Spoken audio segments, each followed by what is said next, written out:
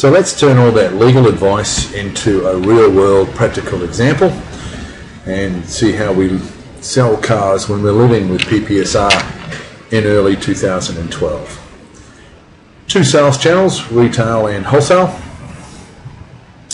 First step is to ensure that your financier will release any interest they have. At this stage, or at this time, November 2011, we don't have complete clarity from all lenders whether they will be registering their interest on each individual car that you have on floor or whether they will just be doing a general fixed and floating charge um, to protect themselves.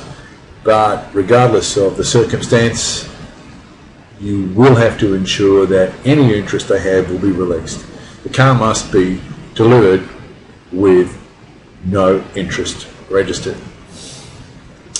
On day of delivery, best practice is to consider doing a search to make sure that nothing has happened, no interest has been registered, uh, rightfully or wrongfully, while you have owned it.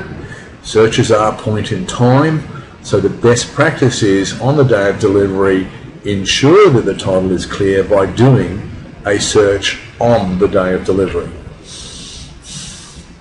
Here's the kicker with PPSR.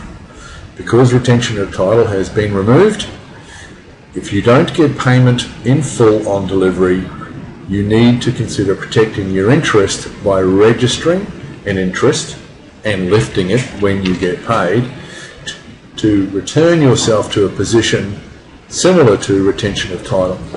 Because retention of title has been removed, you need to register an interest to protect your rights.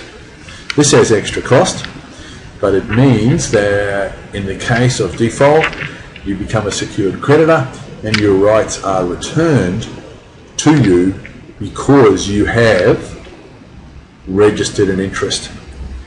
You cannot backdate your interest, so you have to do it on the day of delivery. You can't deliver it on a Friday and uh, backdate your interest on the Monday when the paperwork comes through to the Friday.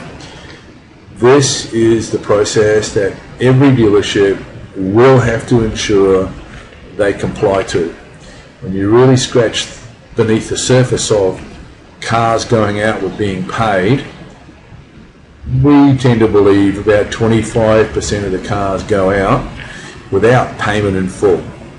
You may not always need payment in full, but you'll need to decide under what business conditions you will take the risk very important to have the correct processes in your dealership to ensure that if you decide to offer terms, you have protection.